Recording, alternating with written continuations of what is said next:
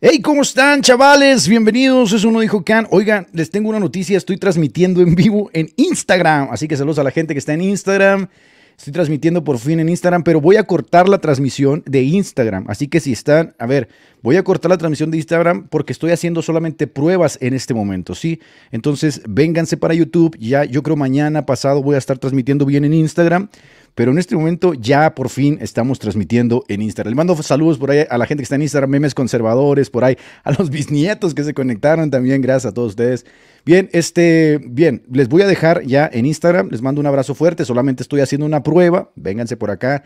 Pero ya mañana, ya que haga todas las pruebas convenientes, vamos a estar también por acá en Instagram. Así que gracias a los de Instagram. Hasta luego, queridos. Nos vemos. Bien, ya nos fuimos de Instagram, nos fuimos de Instagram y aquí estamos ya con ustedes en YouTube. Qué bendición. Oigan, no tengo cumbia. La realidad es que voy a, voy a cesar un poquito las cumbias hasta que tenga la nueva cumbia, que ya estamos en eso. Hasta que ya estamos en eso, eh, la nueva cumbia. Hasta ese entonces no va a haber cumbia. El intro de entrada va a ser ese, un intro genérico.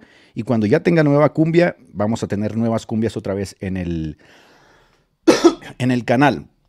Bien, chavales, amigos, hermanos, plebes, banda, ¿cómo están? ¿Cómo están? ¿Cómo están? Les saludo con mucho amor, con mucho cariño. Este, déjenme decirles que atendiendo a sus consejos, voy a dejar definitivamente la coquita con hielo y voy a empezar. Miren, aquí tengo un juguito muy delicioso, un juguito de naranja, que no es muy saludable que digamos también el jugo de naranja, ¿verdad? Pero bueno, el asunto aquí es que vamos a proponernos nuevas cosas este año, ¿no? Vamos a proponer, ¿cómo están, queridísimos? ¿Cómo la están pasando? Dice Primicia Pachequiana para la conversión de muchos más católicos este 2024. Señor te bendiga. Gracias, mi amado hermano, gracias, gracias por sus aportaciones, saben que las valoro mucho.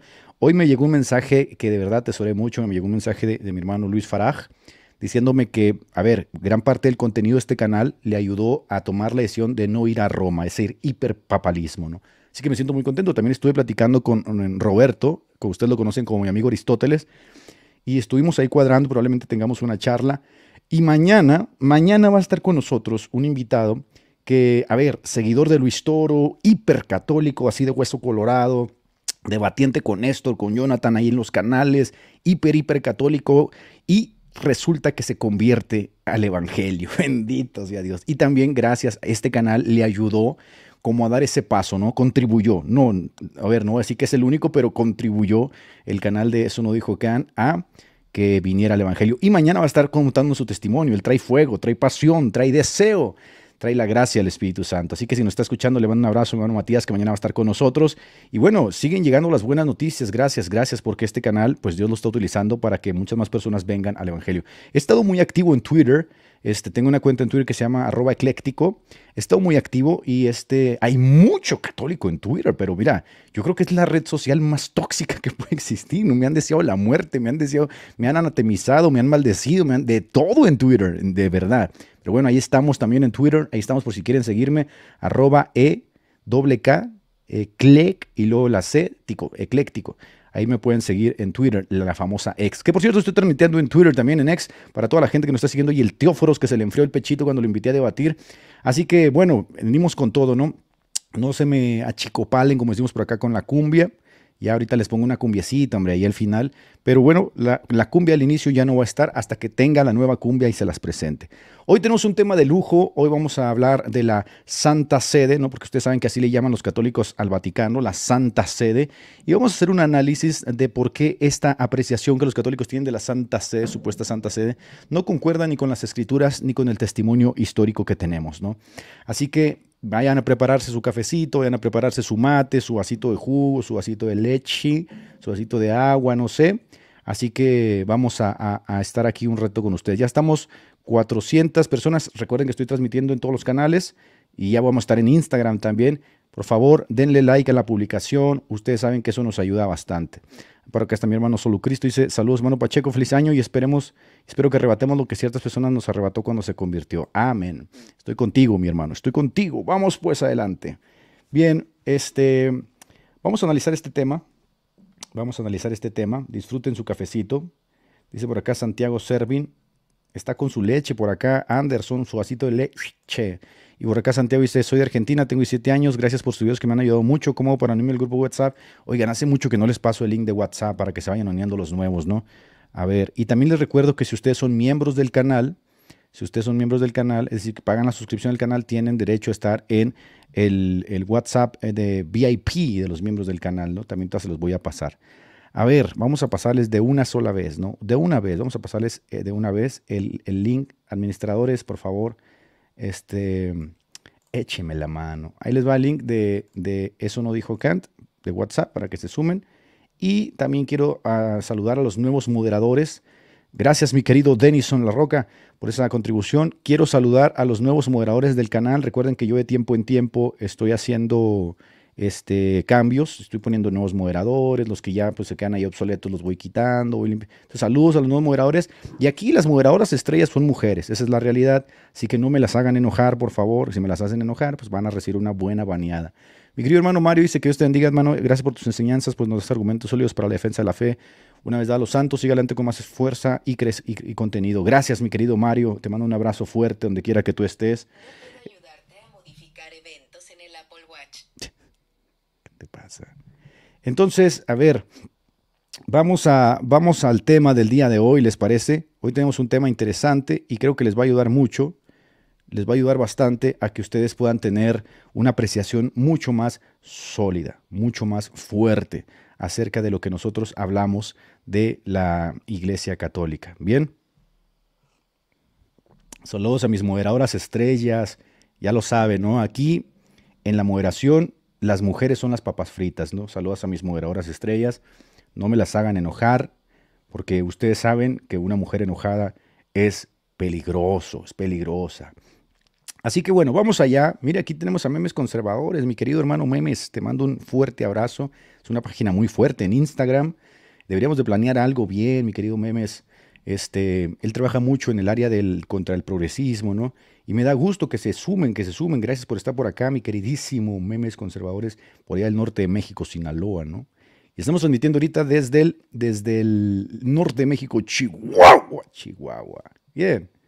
Eh, vamos pues. Ustedes saben, y yo se los he dicho en otras ocasiones, que Roma, la Iglesia Católica Romana, siempre ha querido gobernar sobre los otros patriarcados. El patriarcado de Jerusalén, de Antioquía, de Constantinopla, de Alejandría, siempre ha querido tener el control, no solamente sobre ellos, sino sobre, todos los reinos del mundo, ¿no? Con su famosa idea de las dos espadas, ellos siempre han tratado como de imponer esta visión. Ahí está la bula Unam Samtan de Bonifacio VIII, donde literalmente le dice a los reyes de Francia que si quieren ser salvos tienen que estar sujetos al Papa. Ahí están los documentos que ya hemos aquí hablado, los documentos este, manipulados de la Iglesia Católica, Oigan, miren, para quien no sepa, estoy aquí hablando, pero tengo un ojo acá en el chat, ¿eh? así que sí, sí veo, lo, sí veo lo que dicen. ¿eh? Mire, de repente, ¡pum! Estoy hablando y estoy leyendo aquí que Galileo, Diana, Santiago, Carmen, Memes, Fabiana, Rose y Ernesto están aquí comentando. Bien, ustedes saben que el Papa Bonifacio VIII aseguraba que para ser salvo tenías que estar sujeto al Papa de Roma, así que puso una cláusula para que todos aquellos que quisieran ser salvos estuviesen sujetos al Papa de Roma. Después tenemos las manipulaciones de documentos como la Donatio Constantini, que Lorenzo Valla, Nicolás de Cusa, Guillermo de Ockham, entre otros, van a sacar a la luz de que era un documento falsificado. Y en ese documento, básicamente, otra vez, según ellos, en las actas silvestri, se decía que Constantino, el emperador, le había dejado todo ese poder de los estados pontificios al sumo pontífice, al sucesor de Pedro, ¿no? Y así se hicieron con la mitad de Italia, pero en ese documento también decía que ellos deberían gobernar sobre los patriarcados de Alejandría, de Antioquía, de Jerusalén y de Constantinopla. Entonces el deseo de Roma siempre ha sido gobernar todos los demás reinos del mundo, ¿no? Y así fue, porque, a ver, recuerden ustedes que Roma quitaba y ponía reyes, él los ungía, él los bendecía, ¿no? Y esto es, esto es histórico.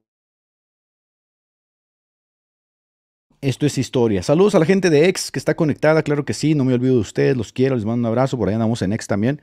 Entonces, habiendo dicho eso, hay que entender que uno de los patriarcados que siempre Roma quiso, y aquí empezamos con el tema, uno de los patriarcados que Roma siempre quiso fue el patriarcado de Jerusalén. ¿Por qué? Pues obviamente por el contexto histórico, por el contexto espiritual de la santa ciudad o de la ciudad santa, que históricamente espiritual y bíblicamente sí se puede decir que Jerusalén es la ciudad santa, porque así está registrada en la escritura por boca del Señor, inspirado por el Espíritu Santo. Roma siempre quiso Jerusalén. En el libro The Rise of the Rise and Fall of the Papacy dice ahí justamente que intentó muchas veces, muchas veces hacerse con el poder y el control del patriarcado de Jerusalén, pero siempre recibía, recibía como el freno de los demás patriarcados, ¿sí? Pero cuando se da el gran cisma de Oriente, cuando los cruzados de Occidente toman Jerusalén, Roma aprovecha y les pone un patriarca, porque siempre ha querido Jerusalén, porque Roma sabe que la Santa Sede realmente es Jerusalén. La que ellos llaman Santa Sede está fundada sobre una colina donde se adoraban demonios, literalmente la colina Batica, ¿no? Había una, diosa ahí, etrusca, que adoraban ahí los etruscos antes de que estuviese el circo de Calígula, donde se mataba gente, ¿no? Donde, hoy, donde tenían el famoso obelisco que hoy tienen en la plaza de San Pedro, que estaba consagrado justamente a los dioses paganos.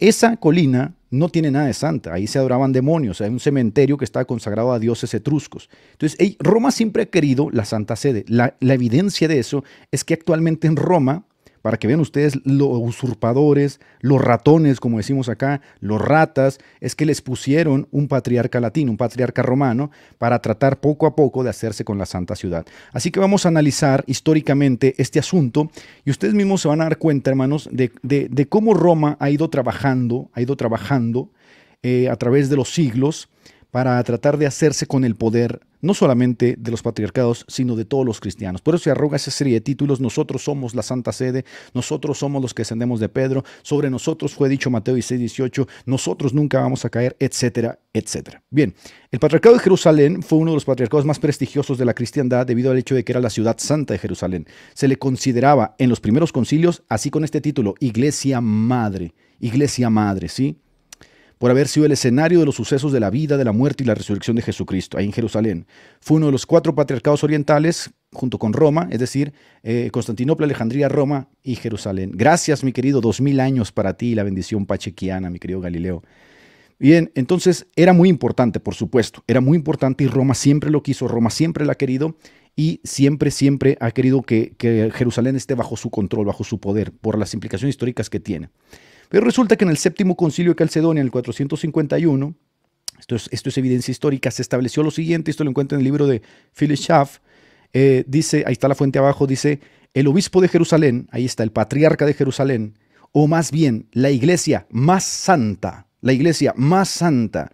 Así se le conocía a la iglesia de Jerusalén, la iglesia madre, la iglesia más santa, la santa sede, porque de ahí salieron todos los apóstoles, porque ahí se consagró con la sangre de Jesucristo, con la vida, con la muerte y la resurrección del Mesías. Por lo tanto, ellos tenían claro que si había una iglesia que era santa, que era la madre iglesia, que era la santa sede, no solamente por el testimonio histórico de los apóstoles, sino el testimonio histórico de lo que la Biblia en el Antiguo Testamento narraba de esta ciudad, era Jerusalén.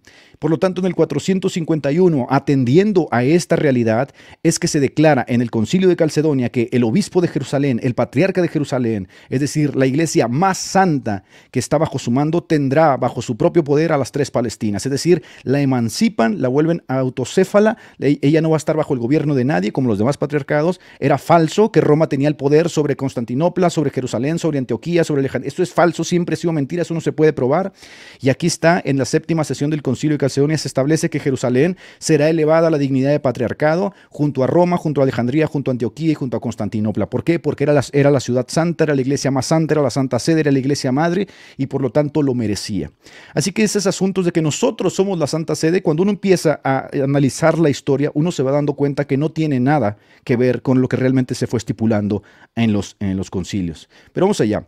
En 1099, cuando los cruzados capturan Jerusalén, Ustedes ya saben lo que decían los cruzados, ¿no? que tenían esas, esas locuras de que eh, Jerusalén debe ser católica, Jerusalén debe pertenecernos. Bueno, se van a Jerusalén, la recapturan, fundan el reino de Jerusalén y una jerarquía latina bajo un patriarca latino. ¿Qué, ¿Qué, hacen los católicos? Lo que siempre han hecho, hermanos. Los católicos, miren, son mentirosos, son asesinos, son perseguidores, son usurpadores. ¿Y qué creen que hacen? Quitan al patriarca ortodoxo de Jerusalén, lo votan y ponen a un patriarca católico romano, ponen un patriarca latino. Hasta el día de hoy, hasta el día de hoy, la evidencia de que Roma es usurpadora, es asesina, perseguidora, es que hay un patriarca latino en Jerusalén junto a un patriarca ortodoxo. ¿Por qué carambas hay un patriarca latino si el concilio de Calcedonia estableció que el patriarca de Jerusalén debería ser autocéfalo de las demás jurisdicciones? ¿Por qué hay un patriarca latino ahí? Porque Roma siempre ha sido usurpadora y siempre ha querido tener el poder sobre los demás patriarcados. Entonces, los intentos de Roma de gobernar Eh, envíale bendición pachiquiana a mis niños Isaac y Caleb. Isaac y Caleb, la bendición pachiquiana, pórtense bien, chamacos, háganle caso a sus papis. Claro que sí, gracias Isaac. A ver, los intentos de Roma de gobernar sobre los demás patriarcados de forma unilateral queda demostrado por el hecho de que actualmente en Jerusalén, a pesar de que no es la jurisdicción de Roma, existe un patriarca católico romano junto a un ortodoxo. Eso les habla muchísimo, ya eso les habla muchísimo de que Roma siempre ha sido una usurpadora, de que Roma siempre ha querido hacerse con el poder de una u otra forma. ¿Y cómo se hicieron con el poder? A través de la espada, con las cruzadas. Conquistaron Jerusalén, quitaron al patriarca que estaba ahí, y pusieron su propio patriarca. Y lo mismo hicieron en Constantinopla. Cuando saquearon Constantinopla los cruzados, hicieron exactamente lo mismo. Quitaron al patriarca de Constantinopla y pusieron su propio patriarca. Entonces Roma siempre ha sido mentirosa, hermanos. Roma, mira, si tú le cedes un poquito a Roma, Roma termina envenenándote, termina hechizándote. Y la evidencia es que ahí está este señor, el patriarca latino romano de Jerusalén, Pier Batiza Pizabala, actualmente ahí está. Este señor es un usurpador, este señor no debería estar ahí. A este señor lo impusieron con espada, lo impusieron con fuego y sangre. Esto señor, esto señor no debería estar en Jerusalén. El patriarca de Jerusalén debe ser un patriarca oriental, ortodoxo. Debe ser un patriarca de Jerusalén, un patriarca de la jurisdicción romana, como lo estableció el concilio de Calcedonia 451. Cuando nosotros nos dicen los gordos youtuberos neófitos, es que ustedes, su talón de Aquiles son los concilios, pero ¿qué dices? ¿Pero qué dices, chaval? ¿Qué dices? El talón de Aquiles de ustedes es los concilios, porque resulta que el concilio de Calcedonia 451 estableció que el patriarca de Jerusalén era autocéfalo. ¿Qué carambas hace ahí un patriarca latino? ¿Qué hace ahí un patriarca católico?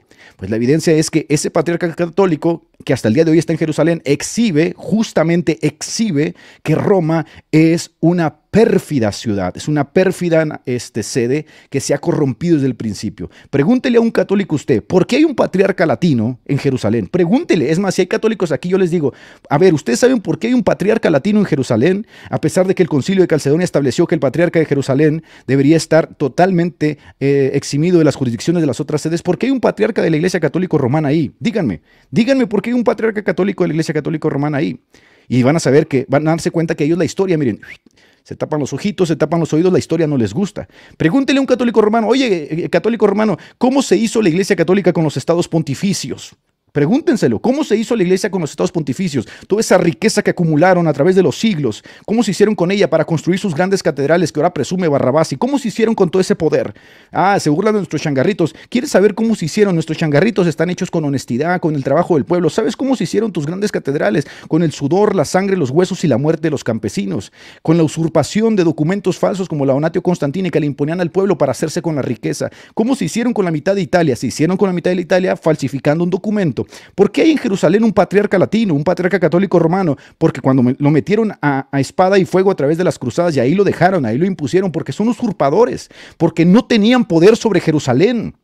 Roma no tiene poder espiritual sobre Jerusalén.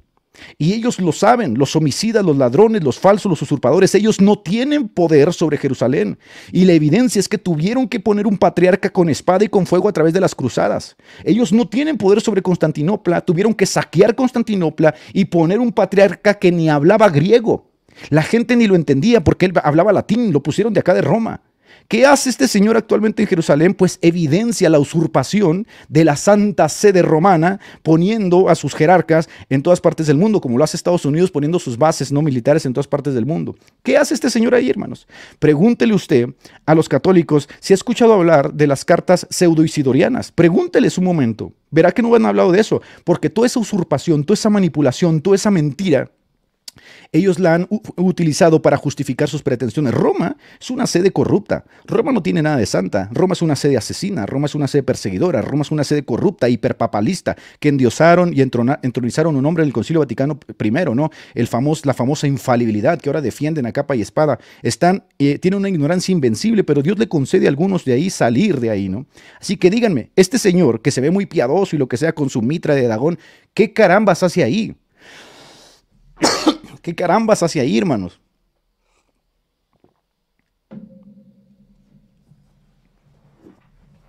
Nada tiene que hacer ahí. Bien, aquí vamos al libro de Race Fall of the Papacy, eh, el levantamiento y la caída del papado. Este, miren lo que dice. Sin embargo, la prioridad tradicional atribuida exclusivamente a Roma y Alejandría era cuestionable. Escuche bien esto. Porque recuerden ustedes que aquí estuvo Alex Tecuel, haya sido como haya sido. Y yo le pregunté, a ver, si según ustedes la iglesia está eh, fundada sobre Pedro, ¿por qué la iglesia está en Roma y no está en Jerusalén o Antioquía? ¿Y qué dijo? No supo qué decir, ¿no? Yo les pregunto, si la iglesia está fundada sobre Pedro, como ellos dicen que es una mentira, ¿por qué la iglesia está en Roma? ¿Por qué no está en Jerusalén, que fue la cuna de la iglesia, de la iglesia primitiva, como lo llamaban en los concilios, la iglesia madre, la santa sede, la iglesia de donde los apóstoles empiezan a evangelizar? ¿Por qué no es Jerusalén realmente la sede de la iglesia católica apostólica romana? ¿Por qué no es Jerusalén? ¿Por qué no se llama iglesia católica apostólica de Jerusalén? ¿Saben por qué? Obviamente porque estos patriarcados eran autocéfalos, no tenían no estaban bajo el poder de Roma y porque primero fue Jerusalén. Y la respuesta de Alex Tecua fue que la iglesia se ha ido moviendo, ¿no? Pero miren, si la iglesia se hubiera ido moviendo, no habría en este momento iglesia en Jerusalén, dado que se movió a Antioquía, y no habría iglesia en Antioquía, dado que se movió a Roma. Eso es una falacia, hermanos. La realidad es que la iglesia se ha ido moviendo, pero no ha cambiado su estructura, porque en Jerusalén estaba obviamente un apóstol, en Antioquía estaba un apóstol. Entonces, obviamente en los primeros concilios, se, alegaba este asunto y se decía, pero ¿por qué Roma debe tener poder si Roma obviamente no es, no es anterior que Jerusalén? Roma no es anterior que Antioquía. Entonces, aquí dice, obviamente dice, la prioridad tradicional atribuida exclusivamente a Roma y Alejandría, la cuestionaban. ¿Quién la cuestionaba? Pues la cuestionaba el patriarcado de Antioquía, la cuestionaban los de Jerusalén. ¿Por qué Roma? ¿Por qué vas a decir que Roma debe tener la primacía y debe ser primacía inter pares y la santa sede? Debería ser Jerusalén, debería ser Antioquía en todo caso, donde sí fue fundada por Pedro, donde estuvo Pedro, donde Pedro lideró el, el trabajo administrativo de la comunidad de Jerusalén, Antioquía. ¿Por qué Roma? ¿Ah? ¿Por qué Roma? Y aquí nos dice, ¿no? Alejandría no estaba directamente relacionada con Pedro. Y Roma no fue fundada por Pedro. Pero probablemente Pedro envió delegaciones a Antioquía, como dice Hechos 11:22, y envió, y de hecho visitó Antioquía, como dice Gálatas 2:11, la evidencia escritural. Jerusalén por su parte, esta es la santa sede. Jerusalén por su parte, miren, y yo no me trago el cuento sobre santa sede, para mí ninguna sede santa, ¿no? Son sede y se acabó. Pero si tuviéramos que hablar de una santa sede, esa santa sede es Jerusalén. Por eso Roma la quiere tener en sus manos, porque lo saben los usurpadores asesinos, lo saben. Por eso pusieron ahí un patriarca latino con espada, con fuego y con sangre, porque no podían hacerse con el poder de Jerusalén, tenían que tenerlo en sus manos los corruptos. Pero si hablásemos de santa sede, la santa sede debería ser justamente la iglesia de Jerusalén, que alguna vez no solamente albergó a Pedro, sino que albergó a Pedro, a Santiago, a Juan, a Bernabé, a Lucas, a Mateo, y no solo eso, sino que fue consagrada por la muerte, la sepultura y la resurrección de nuestro Señor Jesucristo. Y no solo eso, pues fue ahí mismo en Jerusalén donde el Espíritu Santo descendió sobre los apóstoles y la iglesia primitiva y empezó a esparcirse el Evangelio. Así que si tuviéramos que llamar santa sede a una, a una ciudad, a una iglesia, esa tendría que ser Jerusalén, no la colina vaticana donde adoraban demonios, a la diosa vatica etrusca, no la colina vaticana donde estaba el circo de Nerón, donde estaba el, circo de Calígula, donde tenían esos, esos eh, monolitos dedicados a sus dioses falsos. Debería ser Jerusalén y Roma lo sabe. Roma lo sabe. Roma no puede decir que Pedro fundó eh, Roma. Tienen que hacer, obviamente, unas cuestiones de tradición. Y aquí no lo dice. Si bien la iglesia tenía costumbres eclesiásticas, ¿de dónde se derivaban estas costumbres? Se derivaban de las reliquias. Es que tenemos los huesos de Pedro, los encontró el Papa Pío, estaban escarbando debajo del altar ahí en una misa y decía, aquí está Pedro, miren, escarben aquí, aquí está, sáquenlo. ¡Y se prendió esta vaina! Ya estamos 700 personas conectadas, mis hermanos, mis hermanos queridos, mis hermanos queridos. Denle like a la publicación, no se olviden, no se olviden darle like y continuamos, continuamos. Aquí no lo dice claramente que la iglesia primitiva no delimitó la jurisdicción de los patriarcados partiendo de interpretaciones bíblicas, porque quieren venir a decirnos los católicos que, los, a ver, que la doctrina conciliar es el talón de Aquiles del protestantismo. Miren, si vamos a los concilios, al de Constantinopla, al de Éfeso, al de Nicea, al segundo de Constantinopla, si vamos a los concilios, incluso a los signos regionales, Roma no, ni debería existir. Entonces lo que nos dice aquí el libro de Fall of the Papacy es que estos acuerdos eran convencionalismos, eran acuerdos de costumbres. La iglesia tenía costumbres eclesiásticas derivadas de precedentes de reliquias y patrística. Muchas veces estas dieron paso a realidades prácticas. Ah, dices que ahí murió Pedro, árale pues, vamos a, darle vamos a concederles el honor, ¿no? Porque en los primeros siglos no había este pleito de que tú tienes más poder y que esto y que aquello. Se fue derivando a causa del papado romano que quiso empezar, obviamente, a tener más poder sobre los demás.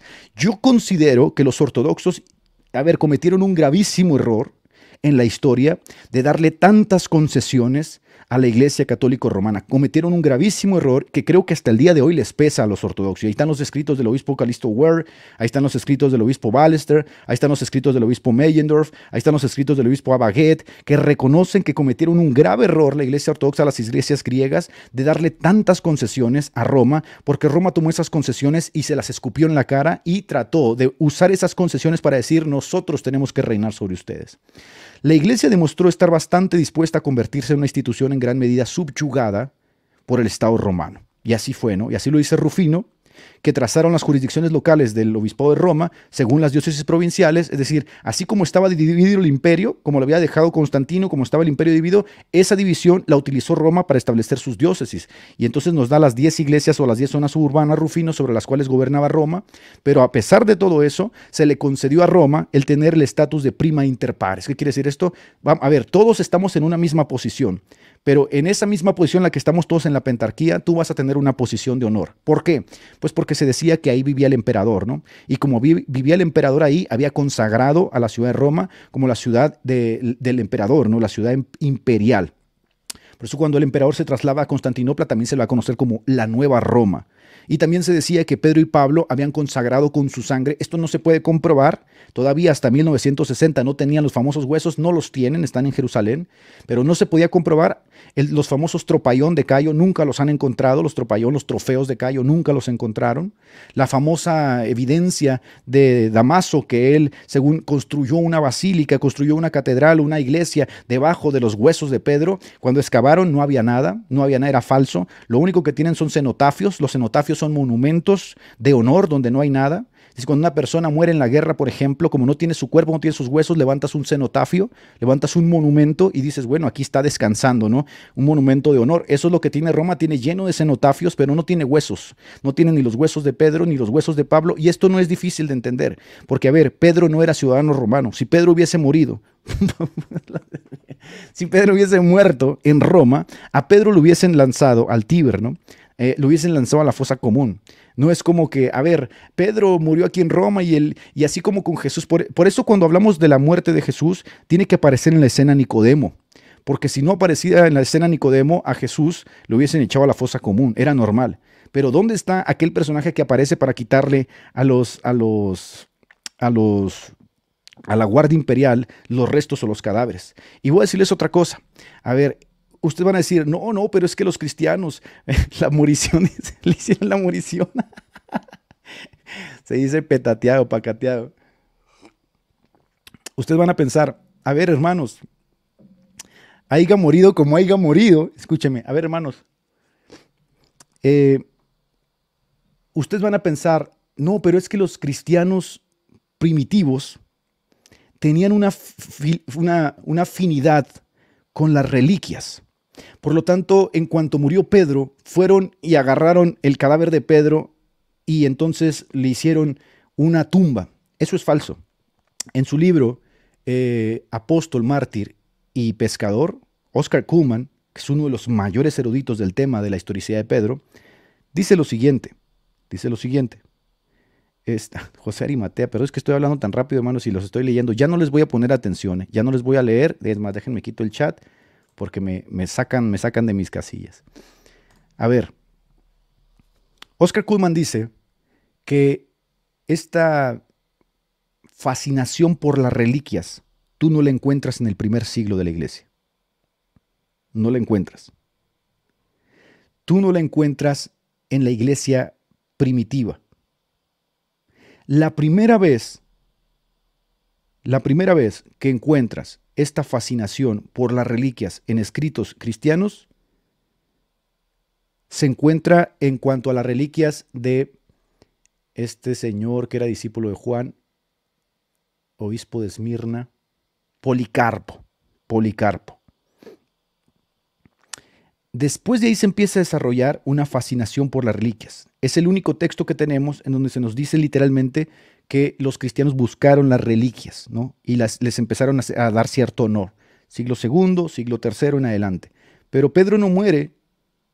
Pedro muere en el siglo I, años 67, 70, ponle ahí. Los cristianos no habían desarrollado todavía esta, esta fascinación por las reliquias. Así que me vengan a decir que ellos tienen los huesos de Pedro, que le hicieron una basílica y que los encontraron. Y yo les voy a preguntar, ¿y cómo saben que son los huesos de Pedro? ¿Acaso en los huesos decía, aquí este huesos de Pedro? No pueden saber, eso no se puede. Y una vez que yo debatí con un ateo, que hablábamos de la resurrección de Jesús, él me decía, ¿qué pasaría si encontraran los huesos de Jesús? Y yo le decía, ¿cómo sabrías que son los huesos de Jesús? No es, no es fácil decir eso, ¿no? Nunca podrías tener la certeza, incluso esto lo dice William Lane Craig en su canal de respuestas, preguntas y respuestas, no se puede saber eso. Puedes tener una apreciación genérica, pues ser un hombre de 30 años, ¿no? Este, pero decir es de que encontramos los huesos de un hombre de 30 años que era pescador y que predicó el evangelio, pues es una tontería, ¿no? Entonces no, no se puede saber. Por eso tener esta fascinación con huesos, con reliquias, con cadáveres, es superfluo, no tiene nada que ver. Cayo decía tener los trofeos en Roma, el tropayón, pero en su libro Oscar Kuhlman dice que es falso, nunca los encontraron, ¿no? Lo que tenían eran cenotafios que se iban pasando de generación en generación. Bueno, pues partiendo de esas ideas de las reliquias, que en el siglo I, segundo, tercero, cuarto, quinto o en el que sea, se empezó a desarrollar en la iglesia, es que se le concedió a Roma cierto honor a causa de la muerte de Pedro y Pablo, ¿no? Y justamente basado en que ahí vivía el emperador. No fueron honores de que Mateo 28, 16, 18, no fueron honores de que Isaías 22, no fueron honores de que Juan capítulo 20. Esos fueron desarrollos posteriores que se dan particularmente a causa de que el papado quiere eh, eh, imponerse sobre los demás. ¿no?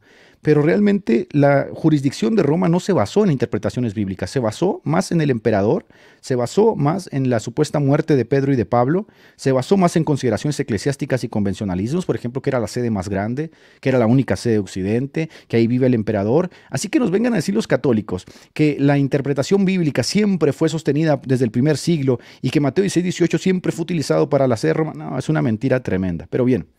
En algún momento del siglo VIII, ya regresé el chat, ya ahora sí, ya cabe la idea. Damos 800 personas conectadas.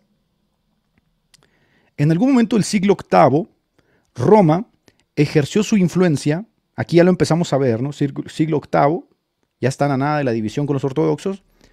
Roma empezó a ejercer su influencia para ella, ella, la sede romana, consagrar obispos, patriarcas latinos, católicos en Siria y Palestina siendo este un intento de reemplazar los patriarcados de Antioquía y Jerusalén. Fíjense nada más, Roma, a través de los tiempos, siempre ha querido ejercer el poder sobre estas sedes. Nunca lo ha podido, nunca lo ha logrado. Entonces siempre lo ha querido hacer. Y aquí en el siglo VIII se muestra la evidencia de que Roma quería ella misma poner los patriarcas en Jerusalén, pero bajo su jurisdicción directa. Y dice, fue percibido en Oriente como algo completamente no canónico y por tanto fue rechazado. Ahí lo tienes, más evidencia. Bien.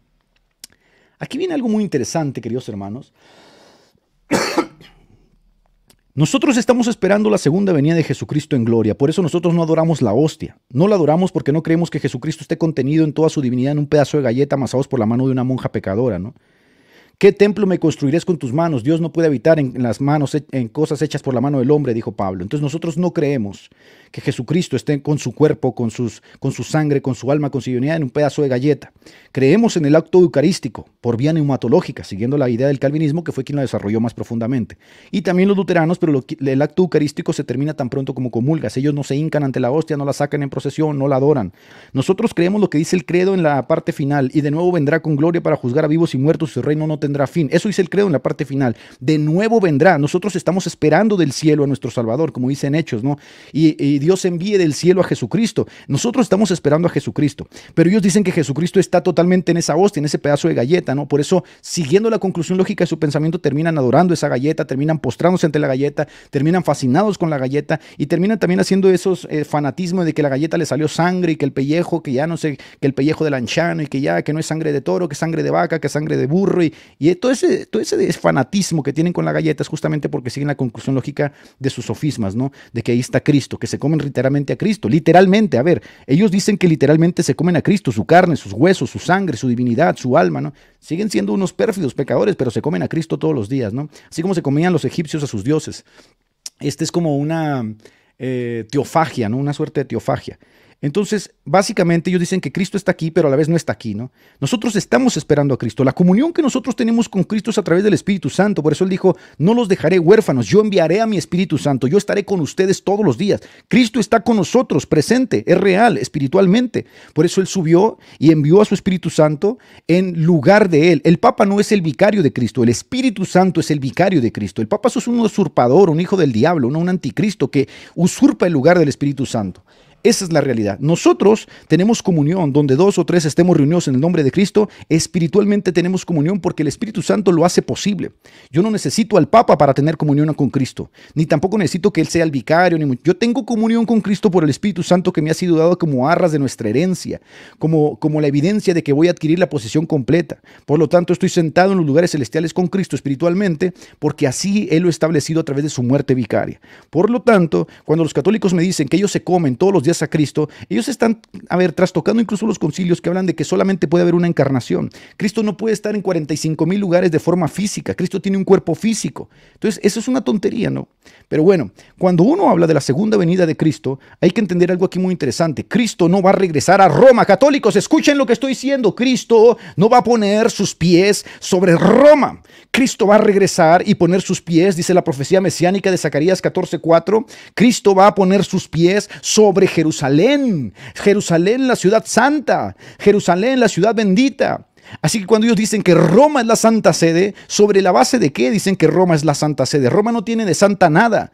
Y, si, si, fuera algo profético, algo escatológico, algo verdadero, Jesucristo bajaría al cielo y el primer lugar que visitaría sería la sede de San Pedro, donde está el Papa que gobierna sobre todos los cristianos y pondría sus pies sobre ella. Pero miren lo que dice la Biblia, sus pies se posarán aquel día en el monte de los olivos que está frente a Jerusalén. Jesucristo regresa a Jerusalén. Jesucristo viene por su pueblo. Jesucristo no viene a Roma. Es más, tenemos la profecía justamente de Roma. Cuando hablamos de Roma, la Biblia sí nos habla en un sentido escatológico de esa ciudad. Nos dice que esa ciudad va a caer, esa ciudad va a desaparecer, esa ciudad pagana recibirá sus juicios. Cayó, cayó la gran Babilonia, se convirtió en nido de demonios, en guarida de demonios, en guarida de todas aves. Esa ciudad es el fin escatológico que, que, tiene. Entonces, cuando ellos me dicen, esta es la santa sede, si fuese realmente la santa sede, Jesucristo la tendría en una alta estima, pero resulta que cuando eh, se escribe en un tono escatológico de los días finales, Juan, los días finales, dice, cayó la gran Babilonia. ¿Cuál es la gran Babilonia? Roma es la gran Babilonia, por supuesto. Esa ciudad que ustedes aman católicos, sobre los cuales establecieron los estados pontificios con documentos falsos porque están enamorados del poder, del poder imperial. ¿Y sabes dónde estaba el imperio? En Roma. ¿Y el imperio qué era? Era un imperio pagano.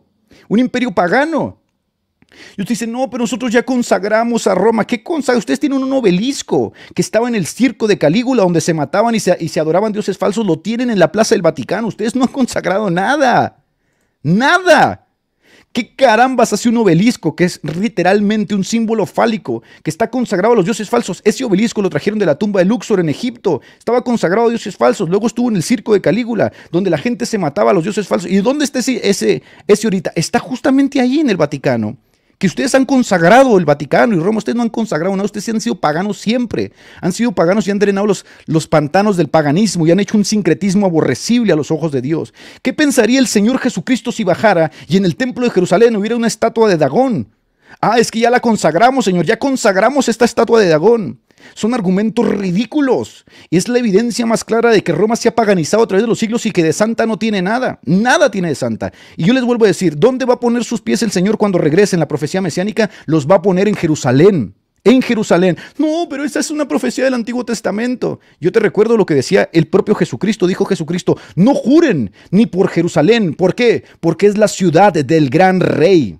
Eso decía Jesucristo. ¿Por qué no dijo Roma? Roma será la santa sede, Roma será la gran capital, Roma será... Roma es una usurpadora. El hecho de que Roma haya puesto un patriarca en Jerusalén es la evidencia de que recibirán el pago. ¿Por qué tienen un patriarca latino en Jerusalén? ¿Por qué? En la gran ciudad, en la ciudad del rey, en la santa sede, en la iglesia madre. ¿Por qué pusieron un patriarca a través de la sangre y del fuego, a través de la muerte? ¿Por qué impusieron a través de las cruzadas esos asesinatos que hacían en masa? ¿Por qué lo impusieron ahí? Porque son usurpadores, porque son mentirosos. Siempre han sido mentirosos, paganos. Pregúntele a un católico, pregúntele y verá con los sofismas que le va a salir. A ver, querido católico que estás aquí en el chat, ¿por qué tienes un obelisco consagrado, literalmente a dioses falsos, consagrado con la sangre de las muertes del circo de Calígula? ¿Por qué lo tienes en la plaza de la Santa Sede? ¿Por qué está ahí? Ay, es que nosotros apreciamos el arte. Y a ver, yo voy a utilizar esa misma lógica. Apreciando el arte, ¿tú crees que Dios estaría de acuerdo en que pusieran una estatua consagrada a los dioses falsos y consagrada con la sangre de la muerte de ciertos individuos en el templo de Jerusalén? ¿Qué entiendes tú por santo? ¿Qué entiendes tú por sagrado? Si realmente Roma fuera la ciudad sagrada, Jesucristo pondría sus pies en Roma y esa ciudad realmente estuviera consagrada, consagrada por el Espíritu de Dios. Pero ¿sabes qué pasa? Que la mayoría de los católicos no han nacido de nuevo. No pueden cambiar sus manchas, no han nacido de nuevo. Porque ¿sabes qué hicieron de la conversión ustedes como católicos? La conversión para ustedes es echarle agua a un niño en la cabeza. Eso es la conversión para ustedes. Recibir el Espíritu Santo para ustedes es prender una velita en el día de la confirmación. Es una tontería. Nacer de nuevo realmente del agua y del Espíritu es nacer de lo alto. Es un cambio ontológico, Señor señores, ontológico. Es un cambio ontológico que da un giro de 180 grados a la vida. ¿Cómo me vas a decir, ay, es cristiano porque le eché agua en la cabeza, ya recibió el Espíritu Santo porque prendió una vela y le eché aceite, lo crismé? A ver, eh, ustedes han hecho una interpretación tan falaz de las escrituras que la evidencia es que el 80% de los católicos que se dicen cristianos son nominales, no han nacido de nuevo, son borrachos, adúlteros, mentirosos, van a misa una vez al mes y después de que hacen un bautismo, una boda, se emborrachan, se embriagan, viven como el diablo. Pero ustedes les han hecho creer que porque les mojaron la cabeza de niños, entonces son cristianos y han recibido el Espíritu Santo. Ese es el gran problema de Roma. El gran problema de Roma que también siguen sus hijas, lamentablemente, ¿no? El gran problema de Roma es que no han nacido de nuevo. No han nacido de nuevo por lo tanto no tienen temor de Dios. Porque todo aquel que es nacido de Dios, dice el apóstol Juan, fíjese lo que dice, todo aquel que es nacido de Dios, la simiente de Dios permanece en él. Y Dios lo guarda. Y el diablo no lo puede tocar porque la simiente de Dios permanece en él y por lo tanto no practica el pecado. Hay un temor en su corazón. Él trata de agradar a Dios, él trata de seguir a Dios, él trata realmente de hacer la voluntad de Dios porque su naturaleza, la naturaleza pecaminosa, ha sido cambiada por lo que se llama el nuevo nacimiento, el nacimiento de arriba. Ahora yo les digo, si ustedes no nacen de arriba, como dijo Jesús, ustedes no verán el reino de los cielos. Así le mojen la cabeza a niños, a perros, a gatos, a aliens, a quien le mojen la cabeza con su supuesta agua bendita, no van a ver el reino de los cielos, porque para ver el reino de los cielos es necesario nacer de nuevo. Miren, no es cierto que los católicos se enojan cuando nosotros decimos, a ver, yo era un borracho, yo era un adúltero, yo era un mentiroso, pero Cristo vino a mi vida. Y se enojan los católicos, dicen, ah, pues entonces usted, usted siempre los cristianos protestantes tienen ese juego, porque realmente así es. Y Pablo cuando le escribe a los corintios les dice justo eso, y esas cosas eran ustedes, pero ya han sido lavados, les dice Pablo, ya fueron lavados, ¿con qué? Con la sangre de Jesús. Y yo les pregunto, católicos, ¿ustedes ya fueron lavados con la sangre de Jesús? Ay, es que a mí mi papá me bautizó cuando era niño y yo ya soy cristiano. No, no, Señor. Si usted no nace de nuevo, usted no va a ver el reino de los cielos. Si usted no abandona la idolatría, si usted no abandona la mentira, si usted no abandona la borrachera, el pecado, el adulterio, el adulterio de los ojos, la mentira de los labios, si usted no abandona realmente la concupiscencia y se, y se sujeta y se consagra a Dios, así le hayan mojado la cabeza, las manos y lo que sea, usted no verá el reino de los cielos. Así que usted necesita nacer de nuevo. Y para... Miren, muchos católicos defienden el pecado, defienden la Inquisición, defienden la idolatría porque no tienen temor, porque el temor justamente procede de la salvación. El temor de Jehová se vuelve nuestro baluarte, queremos agradarlo. Entonces yo les pregunto, ¿qué tiene, de ¿qué tiene de Santa Roma? Para empezar, la Biblia en un sentido escatológico a Roma la llama Babilonia. Y Babilonia recibirá el pago final de los juicios de Dios. No, pero ahí habla, a ver, Babilonia es Roma, sí o no. No, Babilonia no es Roma. Entonces cuando Pedro, en segunda de Pedro, escribe desde la iglesia de Babilonia, entonces no es Roma, Pedro no estuvo en Roma. ¡Pum! Pacatazo. ¿No? ¿Es Roma o no es Roma Babilonia? ¿Y dónde está la Santa Sede, señores? ¿No es cierto que ustedes están enamorados de Roma? A ver, los estados pontificios católicos, ¿dónde estaban? ¿Estaban en Asia? ¿Estaban en América del Sur? ¿Dónde estaban los estados pontificios? Estaban en Roma porque están enamorados del poder. ¿Sabes qué decía la Donatio Constantini? La Donatio Constantini, señor, escuche bien esto que le voy a decir, porque esto viene en el libro de Lorenzo Valla, quien descubrió la farsedad de la Donatio Constantini. ¿Sabes qué dice la Donatio Constantini? Aparte de que a Roma, según Constantino, le dejó el poder sobre los estados pontificios, que era medio Italia, y el poder sobre, sobre los demás patriarcados, y le dejó la renta de las tierras y el diezmo de los príncipes, ¿sabes también que decía? Lo cual me parece el clímax de la corrupción, el clímax de la megalomanía. ¿Sabes lo que dice? Dice que al Papa se le concede el color púrpura del emperador. El color púrpura. ¿Sabes de dónde viene el color púrpura, señor católico? El color que usaban los emperadores, los sumos pontífices, que algunos me citan a Tertuliano. El sumo pontífice, dice Tertuliano, sí, pero lo dice para burlarse, cabezón. Y lo dice cuando ya era montanista, aborrecía el papado. Se burla porque el título sumo pontífice le pertenecía al emperador pagano. En el momento que el papa se arroga el título de sumo pontífice, está dando evidencia de que está hambriento de poder. Es una, es una, es una, es una santa, eh, de santa sede tiene lo que yo tengo de astronauta. Están hambrientos de poder. Y no es la única institución cristiana en el mundo que a sus prelados los viste de púrpura y los viste de escarlata no, los judíos también se vestían de púrpura y escarlata. Bueno, cuando la Biblia habla de la Gran Babilonia, vayan ustedes a la Biblia latinoamericana, lean abajo en los, en los documentos, en los comentarios, de, de quién está hablando ahí. Si está hablando de Roma o de Jerusalén. Está hablando de Roma, por supuesto. Y obviamente, ¿quién tiene y quién usurpó el color de los reyes paganos? Lo usurparon los católicos. Y su papa se viste de púrpura y se viste de escarlata y se llama sumo pontífice sumo pontífice. ¿Y saben quién se llamaba sumo pontífice? El emperador. ¿Y saben también qué decía Leonatio Constantini? Que no era justo que el emperador viviera en Roma, porque ahí vivía el sucesor de Pedro, por eso él se iba a ir a Constantinopla. Inventaron una serie de estupideces porque están hambrientos de poder, siempre han estado hambrientos de poder. Ustedes de Santa Sede tienen lo que yo tengo astronauta, la Santa Sede, la ciudad del gran rey, la iglesia madre, la, iglesia bendita, la iglesia principal, donde estuvieron los apóstoles, donde descendió el Espíritu Santo, que fue consagrada por la sangre de Jesucristo, se llama Jerusalén. Jerusalén. Y esto se los digo no porque yo esté enamorado de Jerusalén, se los digo para refutar las barbaridades que ustedes dicen. Ay, la Santa Sede. Te metes tú a, a internet y ponle Santa Sede y te traslada al Vaticano a la colina de Batica, donde se adoraban los, los dioses etruscos. ¿Qué va a tener de Santa Sede ahí? A ver, el día que ustedes quiten sus falsos ídolos de sus iglesias, el día que ustedes quiten ese, ese, ese monolito que tiene ahí, ese obelisco consagrado en el circo de Calígula, en el panteón de Luxor y consagrado por la sangre de los, de los, a los dioses falsos, que lo quiten de su santa sede de la plaza principal, el día que hagan ese tipo de cosas, yo empezaría a pensar realmente que tienen algo de santa, pero lo que ustedes tienen es un sincretismo pagano terrible, terrible, terrible. Bien. Pero dirán, Pedro y Pablo murieron en Roma y por lo tanto consagraron a dicha iglesia por encima de todas las demás. ¿Por qué eso lo dicen?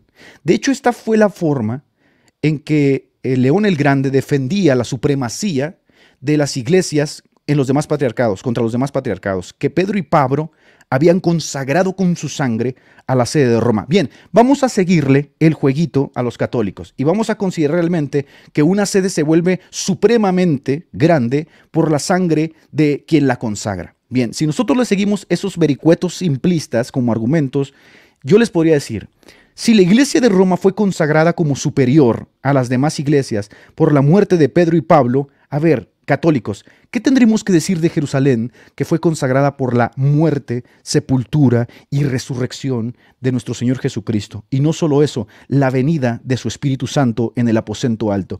¿Qué iglesia realmente está consagrada por encima de las demás a causa de los eventos que en ella se vivieron? ¿La Jerusalén o la de Roma? Ustedes, hasta el día de hoy, sus eruditos, ni siquiera pueden probar con evidencia sustancial si Pedro estuvo en Roma. Y nos quieren venir a decir que Roma, la Roma la pagana, es la santa sede de los cristianos. Jerusalén es y ha sido siempre la iglesia madre. Y todavía existe iglesia en Jerusalén. Pertenece al patriarcado ortodoxo, al cual ustedes quitaron, quitaron asesinos. Ustedes quitaron ese patriarcado en las cruzadas, bajo el mando y la voz del Papa. Llegaron a Jerusalén, saquearon Jerusalén, quitaron al patriarca legítimo que había en Jerusalén lo quitaron y pusieron a su patriarca corrupto. Y hasta el día de hoy ahí hay un patriarca usurpador que ustedes pusieron y que ha venido sucediéndose. Ustedes no tienen sucesión apostólica, tienen sucesión de borrachos, sucesión de fornicarios, sucesión de asesinos, sucesión de mentirosos. Esa es la sucesión que ustedes tienen y presumen. Vergüenza les debería dar. ¿Qué hace este hombre en Jerusalén? ¿Qué hace ese hombre ahí en la ciudad santa, en la iglesia madre? Cuando había legítimamente un patriarca ahí. ¿Por qué lo quitaron? Por su hambre de poder, porque han estado hambrientos de poder desde siempre, desde siempre han estado hambrientos de poder. Y a ver, Roma no ha perdido su hambre de poder. Roma no perdió su hambre de poder. A ver, Roma dejó de recibir diezmos porque no, no ha dejado de recibir diezmos. Muchos estados le dan diezmos a Roma. Muchos estados le pagan diezmos a Roma. Del dinero de los impuestos de la gente. Eso no te lo dicen los católicos, ¿verdad? Eso no te lo dicen, ¿verdad? Pero ¿sabes por qué Roma ha dejado de exigirle diezmos a los feligreses? Porque Roma se montó en la prostitución del capitalismo y Roma invierte en la bolsa de valores para sacar sus ganancias del camino del camino económico del mundo. Cuando ellos vienen a juzgarnos de que nosotros le damos el diezmo al pastor, ese diezmo que nosotros le damos al pastor, de, mucho, de todo corazón, con mucho cariño, suele ser una parte de nuestros sueldos raquíticos de tercer mundo. Yo le pregunto a los católicos, ¿sabes cuál era el diezmo que recibía Roma en la Edad Media? Para que tu papa se siente en un trono de oro, cargue cruces de oro y toda esa parafernalia con la que se viste, para que tu papa pueda llevar a uno de los mejores pintores a pintar sus capillas, ¿Sabes de dónde venía ese dinero? ¿Tú vas a pensar que los sacerdotes se ponen a trabajar, que toman un pico y una pala? ¿Realmente vas a pensar eso? Hay pastores de, nuestra, de nuestras iglesias que trabajan con sus manos, como Pablo trabajaba con sus manos. ¿Usted alguna vez ha visto al Papa trabajando? Y van a decir, no, no es que es el Papa. Pablo era apóstol de nuestro Señor Jesucristo y trabajaba con sus manos. ¿Sabes cómo hace el Papa para vivir en una ciudad literalmente hecha para él?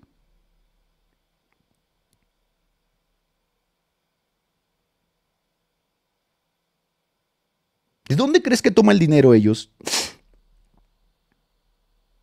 ¿Quién crees que les paga a estos, a estos araganes? Y digo araganes porque ¿sabes qué hacen en el Vaticano? Orgías. Y lo dicen los propios periodistas del Vaticano. El Vaticano tiene 800 personas y algunos de ellos son periodistas. Y esos propios periodistas que saben cómo es la vida del Vaticano, ellos mismos te dicen, aquí hay orgías por todas partes, de los propios cleros homosexuales. Yo les pregunto, ¿Ustedes creen que el 80 o el 90% de nuestros pastores pueden vivir con el diezmo de sus feligreses? La mayoría de nuestros pastores viven como nosotros, viven al día. Yo te pregunto, ¿el Papa Francisco vive al día? ¿Sabes cuánto ganan la mayoría de los sacerdotes en Estados Unidos? ¿Sabes cuánto cobran por misas, por bautismos? ¿Sabes, por qué es la, ¿Sabes cuál es la única razón por la cual tú puedes presumir una catedral? Porque esos lugares fueron construidos con la sangre, con el sudor, con el cansancio, con los huesos, con la carne de los campesinos, de la gente trabajadora, para que tus papas, tus cardenales, tus obispos se tiren en sus sillones a rascarse la panza, viviendo a costa de un pueblo que trabaja, sufre y llora. Tiempo me faltaría para hablar de los Medici, de los Borgia y de toda esa, de Marosia y toda esa basura que ustedes llaman Santa Sede. Pero bien, voy a concederles que es santa porque ahí murió Pedro y Pablo. Pues si es santa, ¿qué será de Jerusalén donde murió nuestro Señor Jesucristo? Ustedes lo saben, católicos. Ustedes lo saben, que la única santa sede que hay fue Jerusalén. Y por eso siempre han querido Jerusalén. Hasta el día de hoy quieren Jerusalén. Y yo no, a ver, yo no dudaría que en sus planes futuros esté tener Jerusalén en sus manos. Siempre han querido Jerusalén. Y por eso está el Papa peleándose con Netanyahu, que no quiere ceder Jerusalén, quiere Jerusalén. Porque aparte de que es una entrada de dinero bastante fuerte por todos los peregrinos y todos los, como siempre ha sido, Jerusalén para ellos, para los católicos, representa justamente la culminación de sus planes. Pero a ver, hablando de ciudades sagradas y queriendo hacernos creer que existe tal cosa como una ciudad sagrada y que el Vaticano, el Vaticano, ¿eh? Que ahí donde se adoraba a los dioses etruscos, que donde había un panteón realmente dedicado a la diosa Vatica, es la ciudad sagrada y por tanto la iglesia madre. ¿Qué dijo Pablo al respecto de esto? Pablo, al respecto de aquellos que se negaban a creer en el Evangelio y querían mantener lazos con Jerusalén, Pablo les dijo esto, la Jerusalén actual es esclava.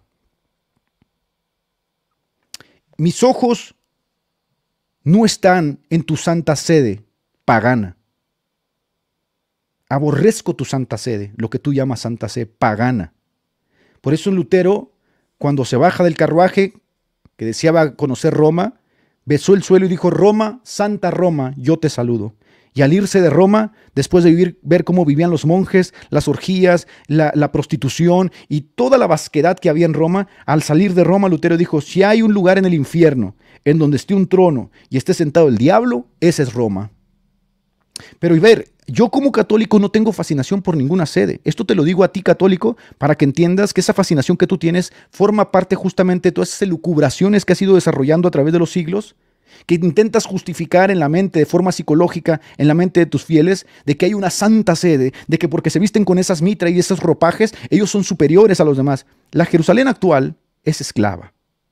Y respecto a cuál es nuestra madre, porque dicen que la, la Santa Madre Iglesia, tú no eres mi madre, ni María es mi madre. Mi madre y mi, mis hermanos son todos aquellos que hacen la voluntad de Dios, pero si hablásemos de un lugar específico, Roma no es mi madre, Roma es una pagana prostituta, mi madre como dice Pablo, es la Jerusalén celestial, esa es nuestra madre y esa está arriba y esa es libre, dice Pablo, y estamos esperando que descienda del cielo. ¿Y cómo crees que va a descender? Limpia, como una novia limpia. Así va a descender la Jerusalén del cielo. Esa es mi madre. Esa es la que yo estoy esperando. Descenderá del cielo ataviada como una novia limpia. ¿Y qué crees? Que en esa Jerusalén sí están los nombres de Pedro, de Pablo, de Luca, de Juan, de los apóstoles. Y esa Jerusalén sí tiene los doce cimientos de los doce apóstoles. Ella sí está consagrada por el nombre de los apóstoles, no tu sede romana pagana.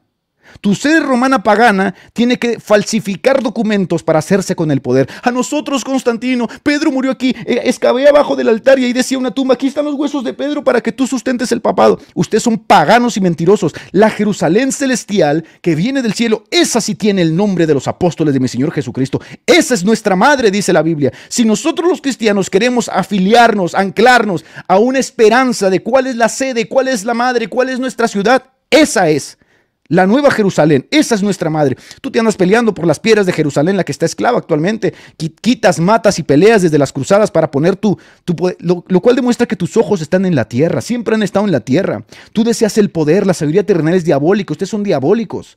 La, la sabiduría que viene del cielo es benigna. Nosotros no deseamos pedazos de tierra, quédate con tus cúpulas, con tus catedrales. Yo espero cielos nuevos y tierra nueva. Y un día descenderá del cielo la nueva Jerusalén ataviada como novia, dice la Biblia, limpia de pecado. Tu santa sede no está limpia de pecado. ¿Cómo voy a llamar santa esa sede cochina, esa sede pecadora, esa sede que ha matado, descuartizado, perseguido? En las calles de tu santa sede hay sangre de santos, de mártires, de profetas, así como en las calles de la Jerusalén actual.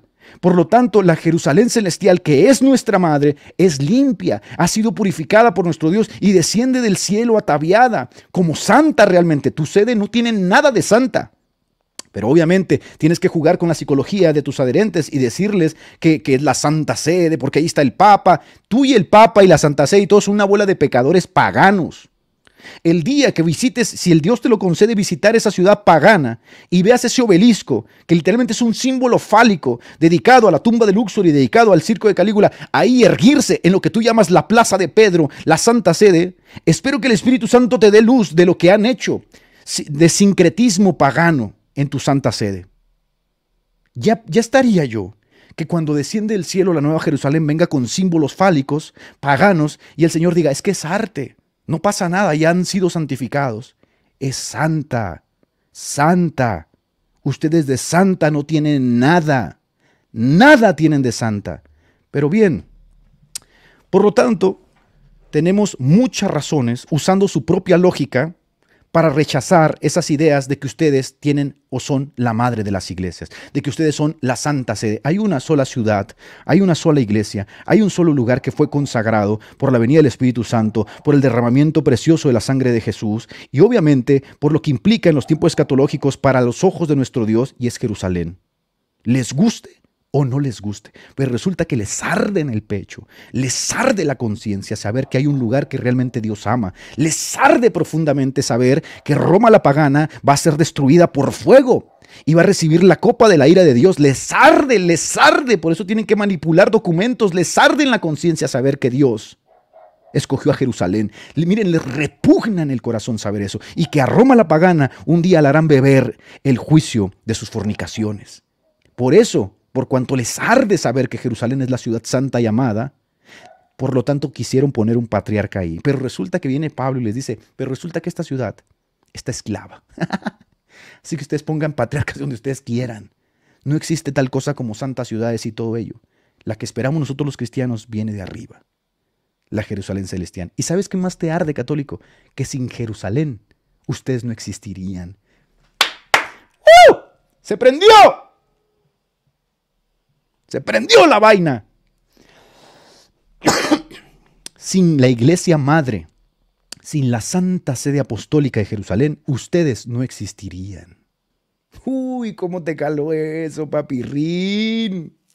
¡Alábale! ¿Cómo te caló eso, chiquitín? Sin Jerusalén tú no existirías, por eso tienes que falsificar documentos.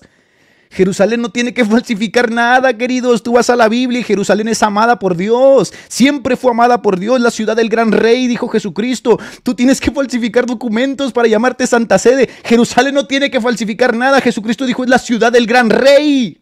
Ahí descendió el Espíritu Santo, ahí murió Jesucristo, de ahí se diseminó el Evangelio. Tú tienes que falsificar la Onatio Constantín, tienes que falsificar cartas, tienes que hacer las cruzadas, matar gente para llamarte Santa Sede. Y aún así en el último día te vas a beber el vino de tu fornicación, ciudad pecadora, ciudad pagana, ciudad fornicaria.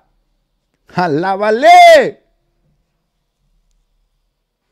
Ciudad Santa, hay una sola ciudad santa y está en la Biblia. Vayan ustedes a la Biblia y díganme en qué parte dice que la santa ciudad es Roma. Roma va a recibir el pago de su pecado. Si tú estás en Roma, lo siento. Si formas parte de esa iglesia romana, lo siento. ¿Y sabes qué es lo más lo que más te arde en el corazón y en la conciencia en el pecho? ¿Sabes qué es lo que más te arde? Que por más que lo intentas y lo intentas y lo intentas, Jerusalén nunca, escucha bien, papa cochino, nunca te va a pertenecer. Nunca. Nunca te va a pertenecer Jerusalén. Yo voy a la Biblia, cosa que tú no, conoces. Yo voy a la Biblia y leo Zacarías, los Salmos, Isaías, Jeremías, los profetas, las cartas, Moisés, todos, todos ellos hablan de Jerusalén. Luego voy al Nuevo Testamento y busco Roma. ¿Y sabes dónde encuentro a Roma? Bebiendo el juicio de la copa de la ira de Dios a causa de sus fornicaciones. Esa santa ciudad. ¿Sabes dónde va a poner el Señor sus pies? ¿Qué crees, chiquitín? No los va a poner en la Plaza del Vaticano donde tienes ese falo ahí dedicado a los dioses falsos. ¿Sabes dónde lo va a poner? En Jerusalén, chiquito. En Jerusalén. Por eso te duele que la Santa Sede, que todavía existe una iglesia pequeñita y ortodoxa griega, que está liderada por un patriarca ortodoxo, esos que tú aborreces y que anatemizaste. ¿Sabes quién es quién realmente va a poner sus pies ahí? Jesús, cuando regrese en su gloria. Escogió Dios a Roma para ser la santa sede, la santa ciudad. ¿Qué dice la Biblia? Mira lo que dice la Biblia en el Salmo 132. Pues el Señor ha escogido a quién. Dígalo conmigo, católico. ¿A quién ha escogido el Señor? A ver, para que te arda en la conciencia y en el corazón. ¿A quién escogió el Señor? ¿A Roma? ¿Roma es la santa sede? ¿A quién escogió? Pues el Señor ha escogido a Jerusalén. Ha querido que Jerusalén sea su hogar. Este es mi lugar. Y estas son palabras del Señor, del Todopoderoso del que creó los cielos y la tierra, el universo y todo lo que en él hay, el que mide las aguas en su mano, el que puede ponerle nombre a las estrellas. Él dijo, este es mi lugar de descanso para siempre. Él ama Jerusalén, él ama Jerusalén, tanto que lo hará descender ataviada, ataviada, santa, limpia. ¿Y qué va a hacer a Roma? A ver, católico chiquitín que estás ahí, ¿qué le va a hacer ese mismo Dios a Roma, tu santa sede, tu santa ciudad? ¿Qué le va a hacer Dios a tu Roma? ¿Ah? Ah, no lo sabías, ¿verdad? Yo te lo estoy diciendo. ¿Sabes qué le va a hacer Dios a la santa sede romana? ¿Sabes qué le va a hacer? Les va a hacer que se traguen, que se traguen el, todo, todo el furor de la ira de Dios vertió en la copa. Lo va a hacer que se traguen hasta la última gota, hasta el punto que desaparezca. Porque es abominación todo lo que ha hecho Roma a través de los siglos. ¿Y sabes qué dice acerca de, ¿sabes qué dice acerca de Roma? Que el humo de su tormento subirá. ¿A quién ha escogido el Señor? A Jerusalén. Este es el lugar, dice Dios, que he deseado.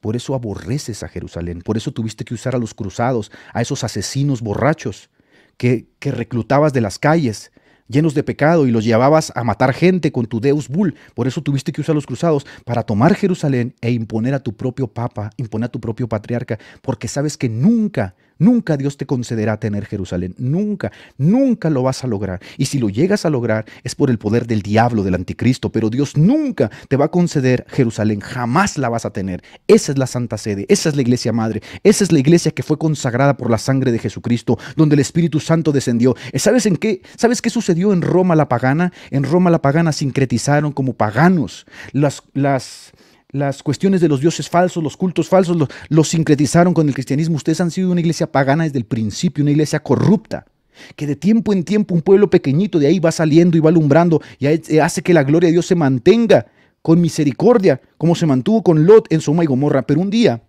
el juicio llegará Mira lo que dice acá en Zacarías. Esta es otra profecía mesiánica. Mira lo que dice. Y dijo Jehová a Satanás, Jehová te reprenda, oh Satanás, Jehová que ha escogido a Jerusalén. ¿A quién ha escogido Jehová? A Jerusalén. Ay, no dice Roma y por eso te duele, te duele que no diga Roma. Te duele que no diga que Santa Sede Romana, Petro, Patria, Espíritu Santo.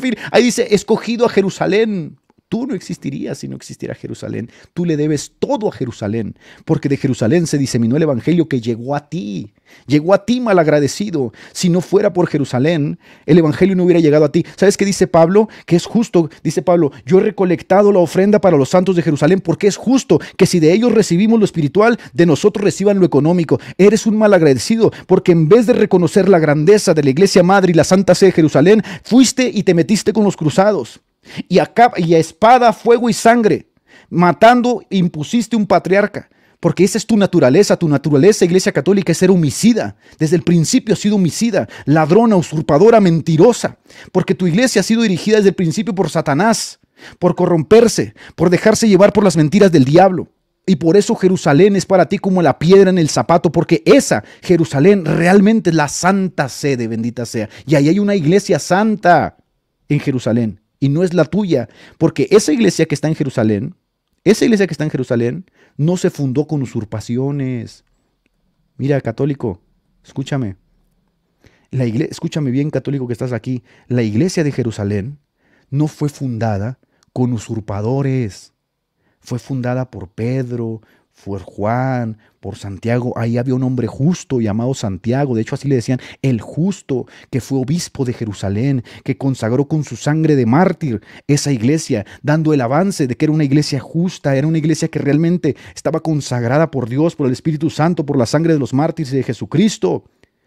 ¿Sabes qué? Tú no puedes decir lo mismo, porque aunque tú cacarees como gallina, que ahí hay una iglesia católica en Jerusalén, es una iglesia usurpadora, como siempre has actuado, porque tu iglesia católica eres asesina, eres mentirosa, eres usurpadora, eres perseguidora, eres profana, y ese Señor que está ahí en Jerusalén da testimonio hasta el día de hoy de que ustedes intentan poner por la fuerza y su poder cosas que Dios no permite.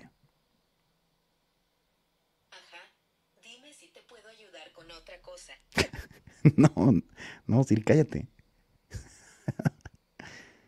¿Qué le pasa a esta señora? Cállate, Siri.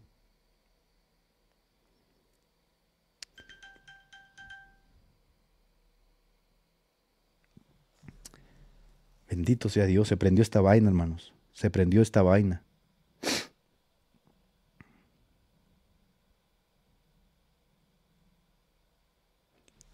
Venido el tiempo de la gracia, Venido el tiempo de la gracia, nos dice el apóstol, uf, qué lindo, ¿eh? Qué lindo es. A ver, qué lindo. Uy, uy, uy, aleluya. Aleluya. Ya no, ahora no le digo cállate a Goofy, le tengo que decir cállate a Siri, ¿no?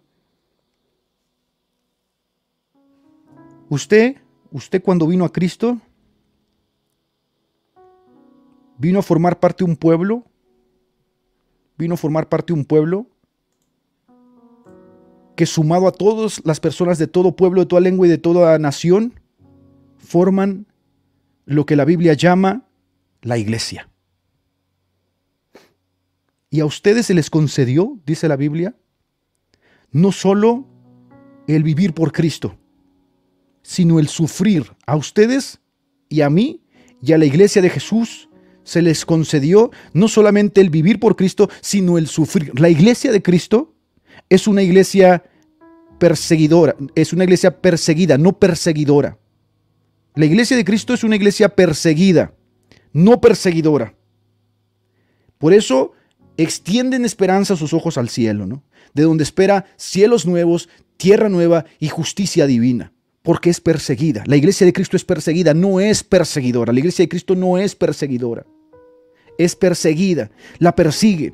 Por eso la Biblia dice, no temáis, manada pequeña. La iglesia de Cristo no levanta la espada para acabar con sus enemigos, ora por sus enemigos. La iglesia de Cristo no se ofusca cuando es perseguida y llora, porque sabe que es bienaventurada cuando llore, cuando es perseguida, cuando sufra, porque así sufrieron los profetas, porque así sufrieron todos aquellos que forman parte de este pueblo santo. Tienen que sufrir, tienen que pasar tribulación, persecución. Por eso dice, es necesario que a través de muchas tribulaciones entremos al reino de los cielos. Y ahí va, sufriendo, cayendo, levantándose, recibiendo la gracia de Dios, pero sigue firme, sigue firme, sigue firme. La iglesia de Cristo no necesita que alguien le diga, tú eres santa. Cristo mismo la ha santificado para él. Cristo mismo la ha lavado, se la va a presentar como una novia y le ha concedido que baje del cielo la nueva Jerusalén para que él habite, para que ellos habiten y él sea el centro de esa ciudad.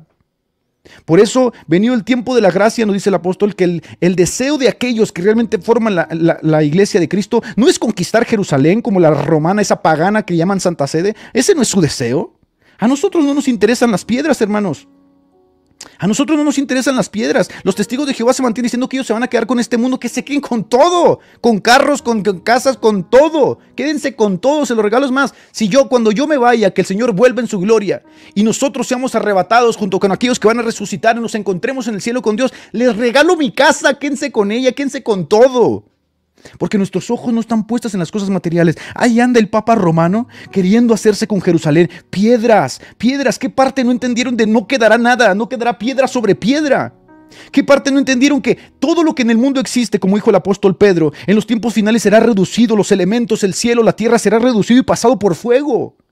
Tienen sus ojos en la Jerusalén esclava, porque son hijos del diablo, porque no han entendido y no les ha amanecido el nuevo nacimiento de saber que los creyentes, los cristianos verdaderos, no estamos enamorados de este mundo, Señor Papa. Quédese con su cúpula, quédese con el Vaticano, quédese con toda esa basura. A mí qué me interesa. La Biblia dice que yo, yo, escuche bien esto, yo he venido a ser templo, templo del Espíritu Santo. Por eso Romanos dice que nosotros nos ofrezcamos como un sacrificio vivo que nos ofrezcamos como un sacrificio vivo, santo, agradable a Dios, ministremos a Dios desde nuestro templo. ¿Usted piensa que a mí me va a venir a llamar la atención con su cúpula, con su Vaticano, con sus falos, esos que tienen en la plaza de San Pedro? Quédese con todo eso, quédese con todo ello. Donde dos o tres estén reunidos en mi nombre y estaré yo en medio de ellos. Porque este es el templo. Este es el templo que yo consagro, querido papá. Este es el templo que yo cuido. Este es el templo eh, desde el cual yo ministro. Porque, a ver, escuche bien esto. Usted sigue diciendo, como aquella mujer ¿Dónde debemos adorar? ¿En la Santa Sede Romana o en Jerusalén? Yo le digo a usted, señor Papa, que probablemente en la vida ha leído la Biblia, que solamente acumulan conocimiento, pero nunca llegan al conocimiento de la verdad. Yo le digo, ni en este monte ni en aquel, quédese con su Santa Sede pagana, con Jerusalén, quédese con todo. Los verdaderos adoradores adorarán a Dios en espíritu y en verdad. Por eso, venido el tiempo de la gracia, nosotros, los creyentes, a los cuales se nos ha conseguido la unción del Santo, vosotros pues tenéis la unción del Santo y no tenéis necesidad de que nada les enseñe. El Espíritu Santo me da testimonio de que mi, hogar no está aquí. Yo voy de paso en esta, en esta tierra. Por eso dice la Biblia, ¿no? Eh, los deseos de los ojos, los deseos de la vanagloria de la vida, no proceden del Padre, sino del mundo. Y el mundo pasa y sus deseos, pero el que hace la voluntad de Dios eh, permanece para siempre. Luego dice en Santiago, eh, todo aquel que se hace amigo del mundo se constituye enemigo de Dios o almas adúlteras, dice, ¿no? Así dice. Por eso, a ver, cuando un creyente ha nacido de nuevo, de inmediato el Espíritu Santo lo hace encaminar su vista hacia arriba, puesto los ojos en Jesús, el autor, el autor y el consumador de, nuestra fe. Y así dice Pedro también en, en los hechos, ¿no? De donde esperamos, del cielo, a Jesucristo. ¿Quién se con todo? ¿Quién se contó eso? Y yo les digo, lo disfrutaron, disfrutaron sus grandes riquezas, disfrutaron hacerse con los estados pontificios, disfrutaron vivir como reyes, vestirse de púrpura, vestirse de escarlata, ponerse sus báculos de oro y sus mitas, lo disfrutaron, Pues mire lo que dice la Biblia en aquella parábola. Lo dice, había un hombre pobre que todos los días se sentaba con sus enfermedades y sus llagas y los perros le lamían las llagas. ¿Sabes por qué los perros le lamían las llagas? Porque tenían más, más, más misericordia los perros que lo veían sufriendo que aquel rico epulón, ¿no? Pero, mira, querido católico, escucha bien esto. Escucha bien esto. ¿Qué es la vida del hombre? Es como la flor del campo que hoy sale y mañana se seca. ¿Dónde está ahorita? Benedicto XVI. ¿Dónde está ahorita? Los Borgia. ¿Dónde están los Medici? ¿Dónde está Silvestre? ¿Dónde está Adrián? ¿Dónde está Nicolás? ¿Dónde están todos esos papas que se vistieron de púrpura y de escarlata? ¿Dónde están todos los papas que se vistieron de oro fino? Que vivieron en eh, en los grandes lugares fincados con el sueldo de los campesinos. ¿Dónde están aquellos que presumían el trono papal desde la cúpula de San Pedro? Están en donde mismo, en donde vamos a ir todos. Por lo tanto, en donde está tu tesoro, dice la Biblia, está tu corazón. Yo no quiero nada de eso. A mí no me interesa, yo me congrego en un changarrito y soy feliz aunque me critiques y te burles de mí. Porque venido el tiempo de la gracia, no dice el apóstol que el deseo de aquellos que son judíos de corazón, soy judío de corazón, soy descendencia de Abraham. Qué bonito decir eso, ¿ah? Uf. Yo soy de la descendencia de Abraham. Abraham es mi padre. Soy de la descendencia de Abraham por la fe en Cristo Jesús. Porque no le plació a Dios salvar a los ángeles, sino rescatar a la descendencia de Abraham. Y yo, como descendiente de Abraham y judío de corazón, ya no tengo mis ojos puestos en la Jerusalén esclava. Tú sí, católico pagano. Y metiste a un patriarca por medio de la espada ahí, porque tus ojos son terrenales. Pero ¿qué nos dice Pablo? Nosotros los judíos de corazón, nosotros, escuche, y esto también lo digo para muchos pentecostales que están enamorados de Jerusalén y de, esos, de esas piedras y todo lo que hay ahí. Escuche bien, los judíos de corazón, no los sionistas, ¿eh? No los sionistas que quieren la guerra contra Irán. No, no, los judíos de corazón, los que hemos nacido de nuevo, que somos simiente de Abraham, como dice Juan, que no hemos sido nacidos por voluntad de hombre ni voluntad de carne, sino por el Espíritu de Dios, por la voluntad de Dios, que hemos nacido de Dios. Los judíos de corazón, no por la circuncisión hecha con la mano del hombre, sino la circuncisión hecha en el corazón. Nosotros ya no tenemos nuestros ojos en la Jerusalén esclava como la tenían los judíos, como la tiene Roma, que puso un patriarca. Nosotros tenemos nuestros ojos en la Jerusalén celestial. Esa es libre y esa es nuestra madre. Uy, uy, uy. Santa Sede, ¿me dices que tú eres la Santa Sede? La Santa Sede, la Iglesia Madre, es la Jerusalén celestial, que según la Biblia Mira lo que dice, y me llevó en el espíritu un monte grande y alto, y me mostró la ciudad santa. ¿Cuál es la ciudad santa? ¿Cuál es, católico? ¿Roma? ¿A dónde lo llevó el espíritu a Juan? ¿Lo llevó a Roma? ¿Lo llevó al Vaticano? ¿A la que tú presumes que es la Santa Sede? ¿Con tus ídolos paganos en la plaza de San Pedro? ¿A dónde lo llevó el espíritu? ¿A dónde lo llevó? Y me llevó el espíritu un monte grande y alto. Y me mostró la ciudad santa. ¿Cuál es la ciudad santa? La santa ciudad. ¿Cuál es la santa sede? ¿Cuál es la iglesia madre? ¿Cuál fue consagrada con la sangre de Jesús? ¿En dónde estuvieron los apóstoles? ¿En dónde cayó el Espíritu Santo? Sin Jerusalén tú no existirías, malagradecido, que en vez de ayudar a Jerusalén, le impusiste un patriarca con la espada cortando cabezas y destruyendo la ciudad. Sin Jerusalén no existiríamos. Por eso dice Pablo, la salvación viene de los judíos, malagradecido. Tú que eres un olivo silvestre, en vez de haber tratado bien a Jerusalén, le impusiste un patriarca, usurpando realmente los acuerdos que el mismo Espíritu Santo había llevado a cabo en los concilios que tú dices respetar. Mira lo que dice el apóstol, me llevó el Espíritu a un monte grande y alto y me, mostró la ciudad santa. ¿Cuál es? Jerusalén. Jerusalén. Otra vez, Jerusalén, Jerusalén, Jerusalén, Jerusalén, Jerusalén, Jerusalén. Ahí no dice Roma, ahí no dice Vaticano, ahí no dice la plaza de San Pedro, dice Jerusalén. Eso me mostró el Señor, me mostró la nueva Jerusalén, que de dónde venía, descendía del cielo. Esas piedras por las que tú estás enamorado.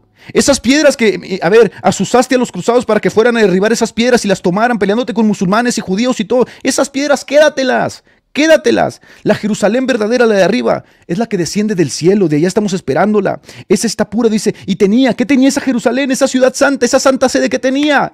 Aleluya, tenía la gloria de Dios. Tenía la gloria de Dios. Tu sede no tiene la gloria de Dios, tu sede dice Icabod. Tenía la gloria de Dios. y bajó del cielo.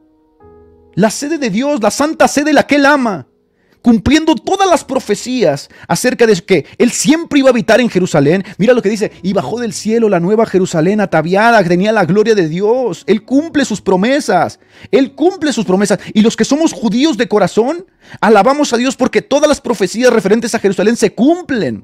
Y bajó del cielo y tenía la gloria de Dios, y su fulgor era semejante al de una piedra muy preciosa, como una piedra de jaspe cristalino. Tenía un muro grande y alto con doce puertas, y en las puertas doce ángeles, y en ella había hombres, nombres escritos que son los de las doce tribus de los hijos de Israel. Había tres puertas al este, tres puertas al norte, tres puertas al sur, tres puertas al oeste. El muro de la ciudad, escucha bien esto, católico. Tú dices, no, es que Pedro murió aquí, yo me encontré los huesos. Escucha bien, escucha bien, porque si tú abrieses tu Biblia, te darías cuenta que esa que tú llamas Santa Sede es una, es una ciudad corrupta, mentirosa, asesina y perseguidora que recibirá su juicio en el día final, como dice Apocalipsis, de modo que gritaremos, cayó, cayó la gran Babilonia por fin Dios hizo justicia a sus santos. Pero esta ciudad, esta santa sede, esta iglesia madre, en donde habitaremos aquellos que somos judíos de corazón. Mira lo que dice, esta tenía en el muro de la ciudad doce cimientos y en ella estaban los doce nombres de los doce apóstoles del Cordero. Ahí sí están los nombres de los apóstoles, no en tu ciudad corrupta y pagana y mentirosa. Tú tienes lleno de cenotafios, lleno de tumbas. Aquí está este apóstol y aquí, aquí, aquí, aquí. Nosotros somos los santas. No, no, no. Esta que desciende del cielo con la gloria de Dios, esta sí tiene a los doce apóstoles. Esta sí tiene a los doce apóstoles. ¡Aleluya! ¿Tú crees que a mí me vas a embelezar con tus cúpulas cochinas que fincaste con la sangre de los hombres que trabajaban? ¿Tú crees que a mí me vas a embelezar que la plaza de San Pedro y que no sé qué? Quédate con todo eso. Yo, hijo de Abraham, he comprendido que todo esto está en esclavitud y que gime junto con toda la creación por su liberación. Y así como los judíos estaban enamorados de su templo, así estás enamorado tú de tu santa sede pero tú de Santa Sede no tienes nada. Nosotros, hijos de Abraham, esperamos a nuestra nueva Jerusalén, para que las profecías de nuestro Señor, conforme a la nueva Jerusalén, conforme a la Jerusalén, en donde Él ha decidido habitar, como dice la Biblia en Zacarías, la que Él escogió, Dios no escogió a Roma, híjole, cómo te arde, cómo te arde. Dios no escogió a Roma, Dios no te escogió a ti. Uy, uy, uy. Te duele, ¿verdad? Te duele, te duele. Ay, ay, mi, Santa Sede Romana. el Santo Vaticano. Te duele, te duele. Jehová te reprenda. Jehová que escogió a Jerusalén. Yo deseo Jerusalén, porque así como el pueblo judío, yo judío de verdad, yo judío de verdad, por el Espíritu de Dios siendo simiente Abraham por la fe en Cristo Jesús, yo también deseo a mi Jerusalén. Ay de ti, Jerusalén, si me olvidare de ti, ¿no? Ay de ti si me olvidare de, Jerusalén. En los ríos, ¿no? De Babilonia nos sentábamos y nos pedían que cantáramos cántico. ¿Cómo cantaremos cántico? ¿No? ¿Cómo cantaremos cántico lejos de Jerusalén? Tú piensas que yo estoy deseoso de ir a la Santa. Yo estoy deseoso de Jerusalén, la que desciende del cielo. Ay, Pacheco nos persigue porque somos judíos. ¿Qué judíos? Los judíos verdaderos no son los de la circuncisión. Los judíos verdaderos son aquellos que, por la fe en Cristo, no han recibido circuncisión de la mano del hombre, sino en el corazón. Mira, católico, ay, cómo te duele, cómo te duele, ¿verdad?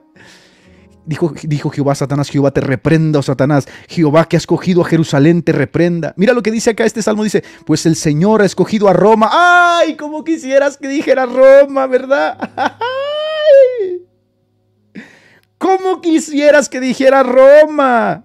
Pues el Señor ha escogido a Roma. ¡Ay, el Papa, el Papa! Mira lo que dice. Ha escogido a Jerusalén. Ha querido que sea su hogar. Pero no esa Jerusalén esclava, ¿eh? Que los judíos siguen pensando que ahí va a estar la gloria de Dios en esa Jerusalén esclava que dijo Pablo en Gálatas. Está esclava. Las promesas se cumplirán en la Jerusalén celestial. Yo te pregunto, ¿a quién le debes tú todo, católico mentiroso? Le debes todo a Jerusalén, a los judíos. De ellos viene la salvación. Fue ahí en Jerusalén, fue allí en, el pueblo de los hebreos donde murió nuestro Señor Jesucristo y consagró la iglesia. Fue allí en Jerusalén, en el pueblo de los hebreos donde los apóstoles recibieron el Espíritu Santo. Fue ahí donde el Espíritu Santo se abrió y todos aquellos recibieron la promesa de Joel 2.28. ¿Qué, ¿Qué tienes tú? ¿Qué tienes tú, iglesia pagana? contra Jerusalén? ¿Alzas tu mano contra Jerusalén? ¿La Jerusalén celestial? ¿La Jerusalén divina? Nosotros, queridos, sabemos lo siguiente. Mira lo que dice aquí, qué lindo, ¿eh? Fíjense lo que dice aquí. El nombre de los apóstoles no es de Roma, pertenece a la Nueva Jerusalén. uy, uy, uy, uy, que desciende del cielo. No, mi iglesia la fundó Pedro. No, la mía la fundó Andrés. ¿Quién fundó tu changarrito? La Nueva Jerusalén, que desciende del cielo, tiene el nombre de los doce apóstoles. Me glorío en mis hermanos, siervos, escogidos, benditos del Señor Jesucristo. Sigue pensando en el Papa ese cochino que ahorita está bendiciendo homosexuales. Síguete quedando con él, con esa idea de que ustedes son sucesores de Pedro y todo lo que quieras. La mía desciende del cielo ataviada como una novia blanca. No tenemos lugar aquí permanente, dice la Biblia, ¿no? No tenemos aquí lugar permanente, es la verdad. Tenemos que levantar unos palos y congregarnos porque, a ver, somos la manada pequeña, somos perseguidos, no somos perseguidores. Si vienes y nos persigues con tu inquisición, te vamos a poner las manos y la cabeza. Porque no somos iglesia perseguidora, somos iglesia perseguida. Así le ha placido al Señor. Los católicos piensan que cuando nuestro gran Dios y Salvador regrese, Él pondrá sus pies en el Vaticano. Híjole, ¿cómo les va a doler? Pero lo real es que, habiendo cumplido sus juicios a estas piedras que los hombres honran, a tu santa sede, les espera destrucción, como dice Pedro, la tierra, las obras y todo lo que en ella hay serán quemados. Pues nosotros, como dijo el mismo apóstol Pedro, nosotros esperamos cielos nuevos y tierra nueva según su promesa. ¿Hacia dónde van ustedes, hermanos? ¿Ustedes van a la Santa Sede o ustedes van hacia la Nueva Jerusalén? Así que vamos a cerrar. ¿Escogió Dios a Roma para ser la Santa Sede de su pueblo santo? Ya después de haberles mostrado, yo les pregunto, ¿ustedes de verdad creen que escogió Dios a Roma para ser la Santa Sede de su pueblo santo? Pero qué disparate, de verdad, qué disparate. ¿Qué sentirán los católicos? Yo, a veces pienso que los católicos entran aquí al, al live y me han de aborrecer, ¿verdad? Me han de odiar.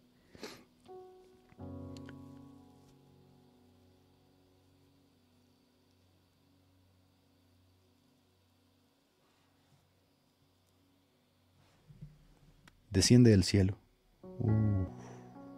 desciende del cielo, ataviada, santa.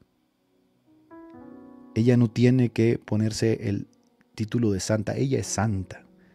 Desciende del cielo con el nombre de los apóstoles en sus cimientos. Ella no tiene que andar escarbando debajo de la tierra para decir que tiene huesos de Pedro y no sé qué. Ella tiene los apóstoles en sus cimientos y tiene doce tronos donde están los apóstoles y gobernarán los apóstoles. Ella tiene que andar como topo debajo de la tierra. Ay, encontramos acá en este, debajo de este drenaje, encontramos unos huesos, yo creo que son de Pedro. Ay, soy el Papa y tengo que reinar. Desciende del cielo y la esperamos de allá. De allá la esperamos. Estamos esperándola. Por eso nos consagramos, por eso nos purificamos, por eso buscamos la santidad, porque sabemos que en esa ciudad santa no entrará nada pecaminoso y estamos ahí buscando a, ser cada día, cada día santificados por nuestro Señor Jesús, ¿no? Bien, excelente. Excelente, excelente, excelente, excelente. Bien. Queridos, queridos, aleluya. Eh, yo creo que, yo creo que mientras más uno estudia las escrituras y lo acompaña de la evidencia histórica, pero sobre todo el sentido común que el Espíritu Santo nos da, porque el Espíritu Santo nos guía, nos ayuda, aunque les duela a los católicos, nos guía y nos ayuda individualmente. Ellos tienen como un pensamiento de colmena, ¿no? Se siguen al Papa donde se quiera que se va. Pero el Espíritu Santo nos guía individualmente y nos, permite a través del sentido común, que es uno de los cuatro pilares de nuestro quehacer teológico, la razón, nos permite comprender, ¿no? Entender, entender. Y aquí quiero cerrar con esta reprensión. Yo sé que hay muchos eh, evangélicos que tienen como una fascinación con Jerusalén, con la Israel actual, con esas piedras, con esos muros, porque tienen, pues obviamente tienen cierta eh, referencia ¿no? a, los, a los tiempos antiguos de que la iglesia nació, etc. Pero a ver, que su escala de valores no se distorsione. Esa Jerusalén actual está esclava. Esa Jerusalén actual fue destruida en el 70 por Tito. Recibió el juicio de Dios. Nosotros no esperamos esa Jerusalén. Nosotros esperamos la Jerusalén que viene arriba. Está bien, de forma cultural, que Dios les conceda conocer esos lugares, pero no se enamoren de esas piedras, porque enamorándose de esas piedras, miren lo que le sucedió a Roma.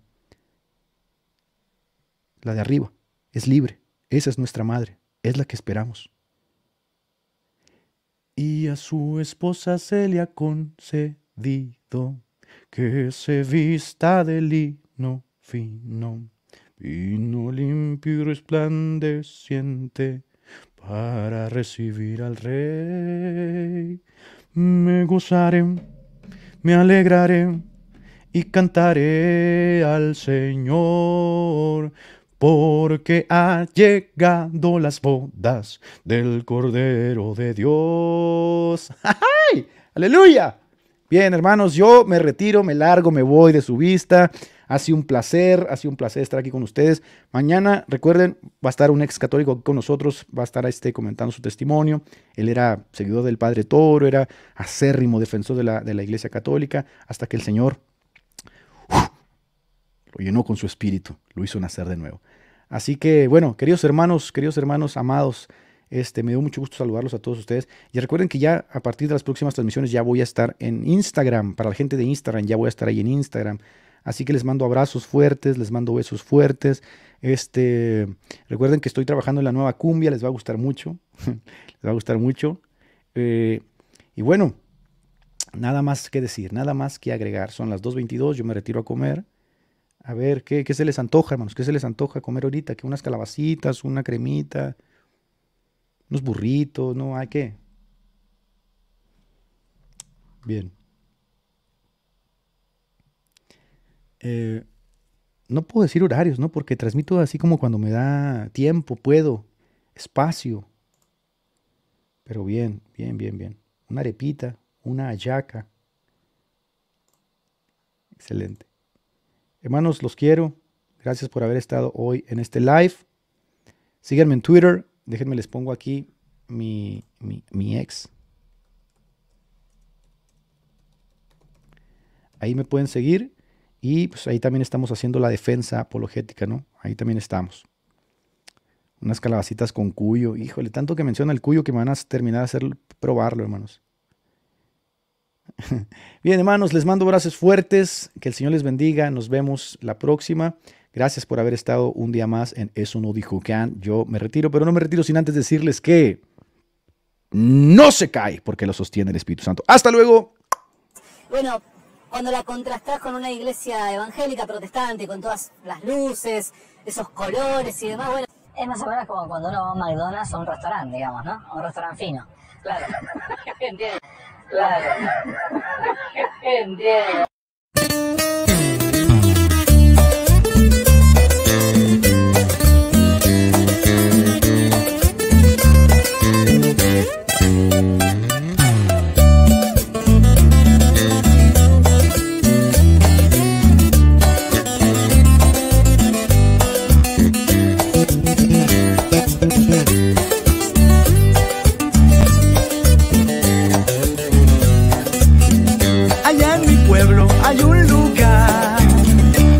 Techo de paja, paredes de cartón. Es muy humilde, no lo puedo negar.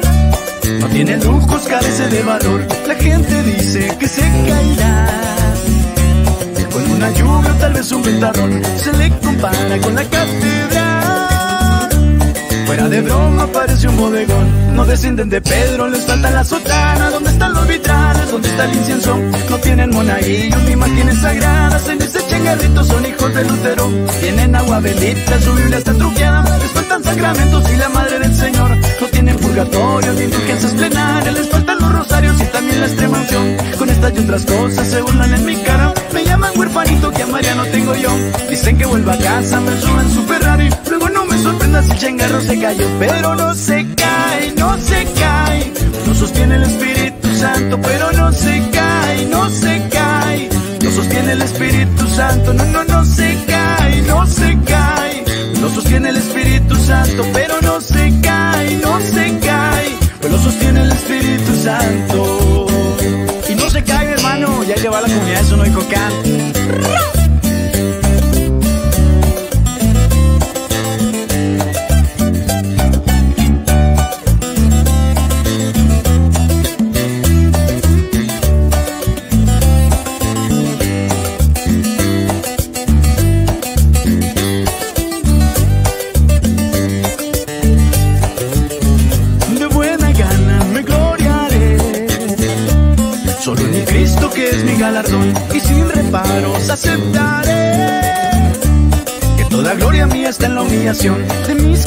carencias me gozaré.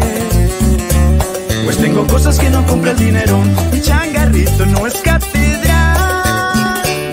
Es un palacio donde Dios me rescató, mi hermana fue sanada, mi madre restaurada, mi padre que era alcohólico alcanzó la salvación, mi corazón cambiado, mi alma renovada, son el testimonio de que ahí habita el Señor. No hay agua bendita, solo llanto inocente, gemidos indecibles de una sincera oración. No somos huerfanitos, todos somos hermanos, madres, grandes ancianos unidos en el amor.